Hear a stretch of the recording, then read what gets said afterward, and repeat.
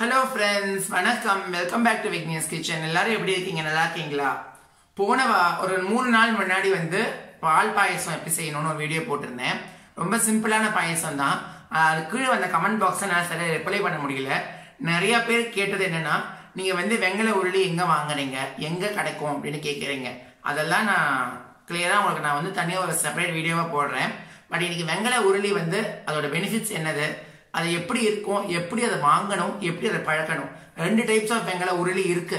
So அதுதான் என்னென்ன அப்படின்றத நான் உங்களுக்கு இப்போ இந்த வீடியோவில் காட்ட போகிறேன் ஸோ எல்லாரும் வந்து வீடியோவை கடைசி வரைக்கும் பார்க்கணுன்றதான் அப்போ தான் நிறைய விஷயங்கள் நம்மளுக்கு வந்து வெங்கல உருளி பற்றி கற்றுக்க முடியும். ஸோ எல்லாரும் வாங்க வீடியோக்குள்ளே போகலாம். இப்போ நம்மளுக்கு ரெண்டு டைப்ஸ் ஆஃப் வெங்கல உருளி இருக்கு. இது வந்து பியோர் வெள்ளோடு அப்படின்னு சொல்லுவா கேரளாவில் வெள்ள ஓடு அப்படின்றது வெங்கலம்.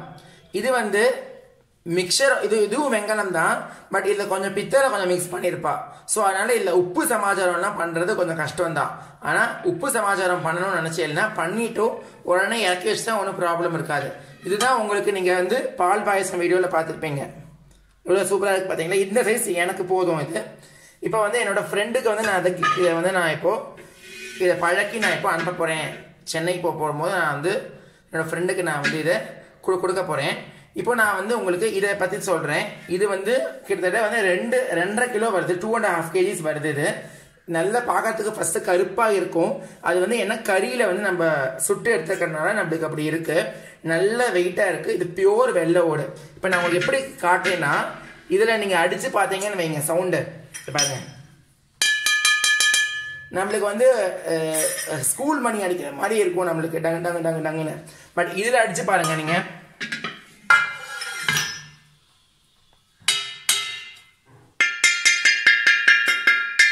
கேக்குதா? நல்லா வந்து இந்த சவுண்டு வருது பாருங்க. கோவில் மணி சத்தம் வருது. அப்படின்னா இது வந்து பியூர் வெங்கலம்னு அர்த்தம். இது வெங்கலத்தை மிக்ஸ் பண்ணியிருக்காங்க. ப்ளஸ் பாலிஷ் பண்ணியிருக்காங்க. நம்ம யூஸ் பண்ணலாம். பட் நல்லா பாலிஷ்லாம் ரிமூவ் செஞ்சுட்டு நம்ம யூஸ் பண்ணணும்.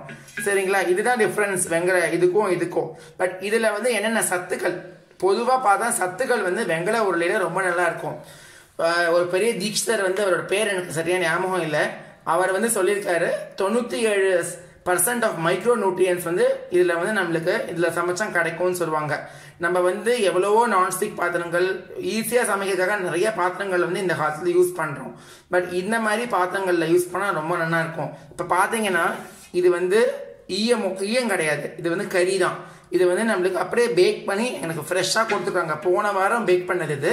சூப்பராக ஃப்ரெஷ்ஷாக பண்ணி கொடுத்துருக்காங்க. இப்போ நான் இந்த வீடியோவில் இதை எப்படி மெயின்டைன் பண்ணணுன்றதை காட்ட போகிறேன் ஸோ இப்போ நான் இதை வந்து உங்களுக்கு க்ளீன் பண்ணி காட்டுறேன். இதை க்ளீன் பண்ணி முடித்தோன்னே இது இதில் வந்து என்னென்ன டிஷ்ஷஸ் பண்ணலாம் அப்படின்றத நான் உங்களுக்கு சொல்கிறேன் இப்போ நான் இதில் கொஞ்சம் தண்ணி விட்டுக்கிறேன். சாதாரண டிஷ் சோப் யூஸ் பண்ணால் போதும். ஸ்பெஷலாக ஒன்று போட வேண்டாம்னு கடைக்காரர் சொன்னார். ஸோ நான் இப்போ இதை வச்சு நான் உங்களுக்கு இப்போ தேய்ச்சி காட்டுறேன்.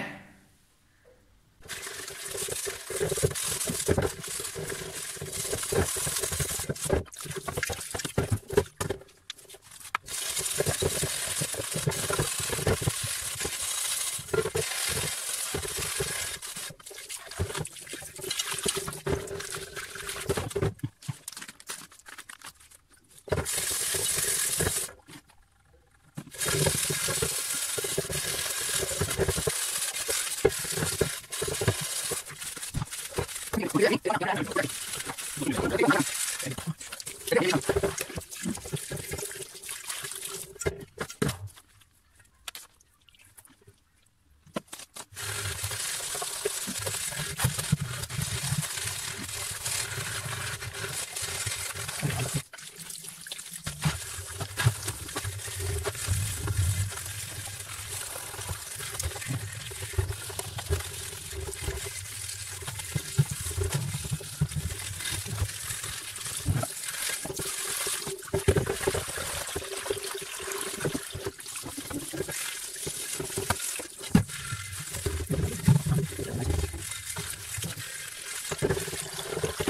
அப்பா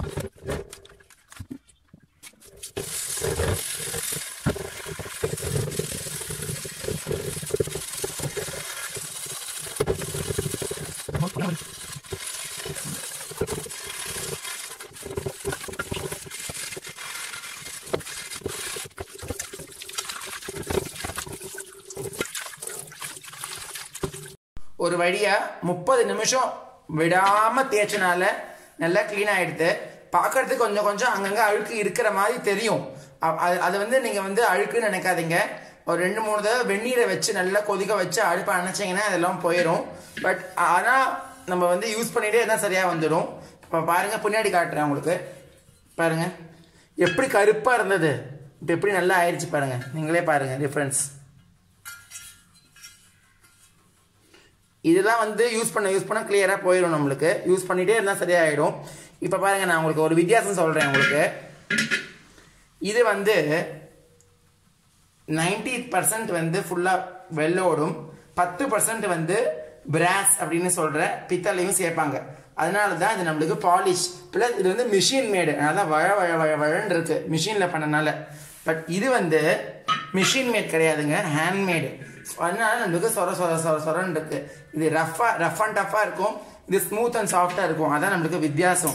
பாருங்கள் இதை இது வந்து வெங்கல கரண்டி இது. இதை வச்சு நான் அடிச்சு காட்டுறேன். கோவில் சத்தம் மணி மாதிரி கேட்கும் பாருங்க. கேட்டுதா?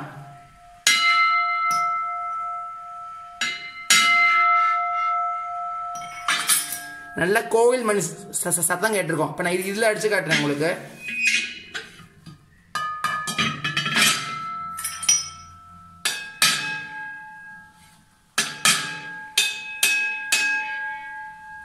இதுவும் கேட்குது பட் இது நல்ல கனகாத்திரமாக கேட்குறது ஏன்னா இது பியூர் வெள்ளோடு. இப்போ நீங்கள் இது டிஃப்ரென்ஸ் பாருங்கள் இது பாலிஷ் பண்ணியிருக்கோம் இது பாலிஷ் பண்ணாதது. இது மிஷின் மேட் இது ஹேண்ட்மேடு ஹேண்ட்மேடு எனக்குமே பெஸ்ட்டு இது நான் வாங்கிட்டேன் பட் இது எனக்கு ரொம்ப யூஸ்ஃபுல்லாக தான் இருக்குது இதுவும் நீங்கள் வாங்கலாம் இதுவும் வாங்கலாம். பட் இது பியூர் வெங்கலம். ஃபுல் வெங்கலம் ஹண்ட்ரட் பர்சன்ட் வெங்கலம். பாருங்கள் சூப்பராக இருக்குது. நீங்கள் எல்லாம் ரிவ்யூ கேட்டுட்டு இருந்தீங்க. ரொம்ப நல்லா இருக்குது. இப்போ நான் இதை வந்து என்னோட ஃப்ரெண்டுக்கு நான் கிஃப்ட் பண்ண போகிறேன் அதாவது வாங்கி க்ளீன் பண்ணி நான் உங்களுக்கு கொடு கொடுக்க போகிறேன் அவங்க யூஸ் பண்ணிட்டு எனக்கு சொல்லுவாங்க. அப்போ அவங்களுக்கு எல்லாருக்கும் தெரியும் எப்படி இருக்குதுன்னு. பட் ரொம்ப நல்லா இருக்கு. நல்ல வெயிட்டு சூப்பராக இருக்குது. இப்போ இதோடைய தாது பொருட்கள் இதை எப்படி யூஸ் பண்ணுறது அப்படின்றத நான் சொல்கிறேன் உங்களுக்கு. பாருங்க சூப்பராக ரெடி ஆயிடுச்சு நம்மளோட வெங்கல உருளி. ரொம்ப அழகாக இருக்குது. ம்? சூப்பராக இருக்குது. ஸோ அவங்க ரொம்ப ஆசைப்படுவாங்க. இது கறி தான். இது தேய்ச்சிட்டே இருந்தால் அந்த கறி போயிடும் பட் இப்போ கையில் பாருங்கள் ஒன்றுமே ஒட்டலை கையில். ஸோ இது நம்மளுக்கு க்ளீன் ஆயிடுச்சு நம்மளுக்கு தெரியும். பட் நம்மளுக்கு ஏதாவது வேணும் அப்படிங்க நினச்சிங்கன்னா நூதை நல்லா தேய்ச்சிக்கோங்க. சூப்பராக ரெடி ஆகிடுச்சு நம்மளுடைய வெங்கல உருளி. இப்போ இதோடைய எஃபெக்ட்ஸ் தான் நான் என்னென்ன சொல்கிறேன் கீரை எல்லாமே நம்ம பண்ணிக்கலாம். பட் ஃபஸ்ட்டு டைம் பண்ணும்போது ஒரு ஸ்வீட்டோட பண்ணுறது நல்லது. ஒரு பாயசமோ ஒரு கேசரியோ ரொம்ப ஈஸியா இருக்கிற அல்வாவோ ஏதாவது ஒன்று முதல்ல ஸ்வீட்ல பண்ணிட்டு பண்ணா ரொம்ப நல்லதுன்னு பெரியவங்க சொல்லுவாங்க. ஸோ அதனால நீங்களும் முதல்ல ஒரு ஸ்வீட்ல இருந்து ஆரம்பிச்சு நீங்க இதை வந்து இந்த செஞ்சு பாருங்க. சூப்பரா இருக்கும் நல்லா இருக்கும். அதே மாதிரி நம்மளுக்கு வந்து வெங்கல உரையில இது உப்பு உப்பு ஐட்டம்ஸ் நம்ம பண்ணலாம். வெள்ளை ஓட இருக்கிறதுனால புளி பொங்கல் சாதம் எல்லாம் உப்பு ஐட்டம்ஸ் எல்லாம் பண்ணலாம். அவியல் அப்புறம் வந்து ரசம் குழம்பு எல்லாமே இதில் வைக்கலாம் நம்மளுக்கு. ஸோ இது வந்து எல்லாமே நல்லது. ப்ளஸ் நம்ம இந்த காலத்தில் நான்ஸ்டிக் பேண்ட்ஸு அதெல்லாம் யூஸ் பண்ணிட்டு இருக்கோம் அதெல்லாம் தவிர்த்துட்டு இந்த மாதிரி பார்த்ததுக்கு நீங்கள் மாறிட்டீங்கன்னா உங்களுக்கு சமைக்கிற பொருட்களில் இருக்கிற எல்லா நல் ந- ந- நல்ல இருக்க சத்துக்களும் நம்மளுக்கு கிடைக்கும்.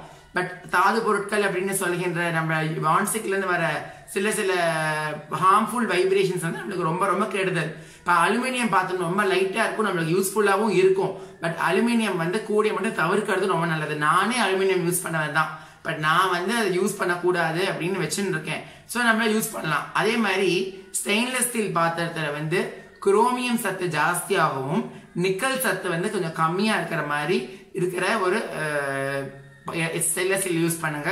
ஏன்னா நிக்கல் வந்து உடம்புக்கு ரொம்ப ரொம்ப கெடுதலுங்க ஸோ அதை நீங்கள் பார்த்துக்கோங்க. அதே மாதிரி நம்மளுக்கு நிறைய டிப்ஸ் அண்ட் ட்ரிக்ஸ் இருக்கு. இது இது first and foremost the most best cooking vessel அப்படின்னு பார்த்தோம் அப்படின்னா பாட் தான். கிளே பாட் கல்ச்சட்டி அதெல்லாம் அவங்களுக்கு சமைச்சா ஹண்ட்ரட் பர்சன்ட் நியூட்ரிஷன்ஸும் கிடைக்கும். நைன்டி செவன் பர்சன்ட் செகண்ட் ஸ்டேஜ்ல இருக்கிறது வந்து இந்த மாதிரி பொருட்கள். பட் இதெல்லாம் வந்து கீழே போட்டா நாளா உடஞ்சிடும். கீழே போட்ட எல்லாம் உடஞ்சிடும். ஸோ நீங்கள் ரொம்ப ஜாக்கிரதையாக இதெல்லாம் நீங்கள் பார்த்துக்கணும். அதே மாதிரி நீங்கள் வந்து பித்தளையில் சமைக்கணும்னு நினைக்கிறீங்கன்னா சமைக்கலாம். தப்பு கிடையாது. உள்ளே வந்து ஈயம் பூசிட்டு நீங்கள் வந்து சமைக்கணும். பிரான்ஸ் அப்படின்றது வந்து காப்பர் சத்தும் டின் அப்படின்னு சொல்கின்ற டின் சத்தும் நம்மளுக்கு கிடைக்கும். பிராஸ்ல வந்து காப்பரும் ஜிங்க்கும் இருக்கும். ஸோ அதுதான் நம்மளுக்கு டிஃப்ரென்ஸ் பித்தளைக்கும் இருக்கும். பித்தளைன்றது பிராஸ் வெங்கலன்றது பிரான்ஸ் ஸோ இது வந்து பிரான்ஸு இது இப்போ நான் உங்களுக்கு அடுத்தது காட்ட போகிறேன் நான் பால் பாயசம் பண்ணின அந்த உருளி காட்டுறேன். அதுவும் வெள்ளோடு தான். அதுவும் வெங்கல உருளி தான். பட் அதில் வந்து நைன்டி ஃபைவ் டூ ஹண்ட்ரட் பத்து பர்சன்ட் வந்து பித்தளை வந்து மிக்ஸ் பண்ணுவாள் அதனால தான் இந்த ஷைனிங்கும் கிடைக்கிறது. ப்ளஸ் கலர் பாருங்கள் நல்ல பித்தளை கலர் இருக்குது இதில் நீங்கள் சமைக்கலாம். உப்பு ஐட்டம்ஸ் தான். இல்லை தக்காளி தொக்கை பண்ணியிருக்கேன் மோர்களி பண்ணியிருக்கேன் அதை ஃபோட்டோஸ் தான் நான் வேணாலும் இந்த வீடியோ எண்டில் காட்டுறேன். நான் இதில் என்னென்ன சமைச்சிருக்கேன் அப்படின்றத நான் காட்டுறேன். எல்லாமே நல்லா தான் இருக்கு ஒன்றும் கட்சியெல்லாம் போகலை. பட் நம்ம சமைச்சிட்டு இந்த சூடு ஆறுறதுக்குள்ள நம்ம எடுத்து வச்சிடணும். இதில் தாங்கிறது நான் ஒரு ஸ்பூன் வந்து நான் இதில் வச்சு பார்த்தேன். ஒரு ஃபோர் ஃபைவ் ஹவர்ஸ் ஒன்றும் கட்சி பண்ண ஸ்மெல் வரலை. பட் எதுக்கும் நம்ம ரிஸ்க் எடுக்க வேண்டாம். அதனால தான் நான் சொல்கிறது அது. ஸோ நீங்கள் அதையும் பார்த்துக்கோங்க. அப்புறம் வந்து இந்த வந்து வெங்கல கரண்டி. இது வந்து வெங்கலத்துக்கு பால் கரண்டின்னு சொல்லுவோம் நாங்கள். இது வந்து இந்த பால் கா பால் காய்ச்சறதுக்கு யூஸ் பண்ணுற கரண்டி. அப்புறம் இன்னொரு விஷயம். கரண்டிலாம் யூஸ் பண்ணும்போது என்னோட பாட்டி சொல்லுவா பால் தயிர் பாலுக்கு தனி கரண்டி தயிருக்கு கரண்டி கரண்டி. ரசத்துக்கும் சாம்பாருக்கும் ஒரே கரண்டி யூஸ் பண்ணிக்கலாம். தப்பு கிடையாது. அந்த மாதிரி நீங்கள் கரண்டியில் வந்து என்னோட பாட்டி என்ன பண்ணுவோம் இது இப்போ நான் இது புதுசாக நான் வாங்கினது இன்னைக்கு. இப்போ இதில் வந்து நீங்கள் வாங்குறீங்கன்னா இதில் பால் கரண்டி அப்படின்னு வந்து நீங்கள் அவங்களே எழுதி தர சொல்லிடுங்க. பால் கரண்டின்னு எழுதி சொன்னால் அவங்களே எழுதி கொடுத்துருவாங்க. அது மாதிரி நீங்கள் எடுத்துட்டீங்கன்னா அது பாலுக்கு மட்டும் நீங்கள் யூஸ் பண்ணுவீங்க. என் பாட்டி எப்படி பண்ணுவாங்கன்னா பாலுக்கு தனி பால் பால்னு எழுதி வச்சிருப்பாங்க இன்னொன்று தயிர்னு எழுதியிருப்பாங்க. ஸோ நீங்கள் அந்த மாதிரி கூட நீங்கள் யூஸ் பண்ணிக்கலாம். இதெல்லாம் உங்களுக்கு யூஸ்ஃபுல்லான டிப்ஸ் ஏன்னா நமக்கு எதுவுமே எந்த பாதம் எந்த பாதம் கலக்கக்கூடாது அது ரொம்ப ரொம்ப முக்கியம். அதனால. ஸோ இந்த ரெவ்யூ எல்லாருக்கும் ரொம்ப பிடிச்சிருக்கும். என்னோட ஃப்ரெண்டுக்கு நான் இப்போ இதை வந்து இதை பார்சல் பண்ணி இப்போ நான் அனுப்பணும். ப்ளஸ் நான் வர தேர்ட்டீன் தேதிக்கு சென்னை வர போக போகிறேன் ஸோ நான் எல்லாரையும் நான் போய் மீட் பண்ண போகிறேன் ஸோ இது பித்தளை இது எங்கே கிடைக்கும் அப்படின்றத நான் ரிசர்ச் பண்ணிட்டு இருக்கேன். இப்போ இவா வந்து தே வில் டூ கொரியர் சர்வீசஸா அப்படின்றது எனக்கு கிளியரா தெரியல. ஸோ நான் அவகிட்ட என்ன டீடைல்ஸ் நான் அவகிட்ட கேட்டுட்டு உங்களுக்கு நான் எல்லாம் கண்டிப்பா சொல்றேன். கவலைப்படாதீங்க. Please wait bear with me என்று கேட்கிறேன். கொஞ்சம் ப்ளீஸ் பேர் பண்ணினீங்கன்னா உங்களுக்கு சொல்றேன். ப்ளஸ் இந்த அழுக்கு வந்து கிட்டத்தட்ட எனக்கு வந்து முப்பது நிமிஷம் கிட்டத்தட்ட ஆச்சு. தேய்ச்சி முடிக்கிறதுக்கு ரொம்ப கஷ்டமா இருந்தது. அவங்களே தேய்ச்சி கொடுத்தா நம்ம கொஞ்சம் டைம் கன்சியூமா டைம் கன்சியூமிங் இல்லாமல் நமக்கு வேலை முடிஞ்சிடும் பட் பார்க்கலாம். பகவ நம்ம கஷ்டப்பட்டு பண்ணதுக்கான பலன் இருக்கு. ஸோ அதை யூஸ் பண்ணிட்டு நம்ம பார்க்கலாம். இந்த வீடியோ உங்கள் எல்லாருக்கும் கண்டிப்பாக பிடிச்சிருக்கும்னு நினைக்கிறேன். கண்டிப்பாக லைக் பண்ணுங்கள் ஷேர் பண்ணுங்கள் மறக்காமல் சப்ஸ்கிரைப் பண்ணி வச்சுக்கோங்க. நம்ம யூடியூப் சேனல் விக்னேஷ் கிச்சனை இந்த மாதிரி நிறைய ரவியோட உங்களை விரைவில் சந்திக்கும் வரை நன்றி வணக்கம். ஆ இன்னொரு விஷயம் சொல்ல மாட்டேன் சாரி கிடுக்கி வச்சு தூக்குறதோ அந்த மாதிரி யூஸ் பண்ணக்கூடாது. கூடிய மட்டும் ஒரு துணியை வச்சு தூக்குங்க அதான் நல்லது. சாரி சொல்ல வந்துட்டேன் ஓகேங்களா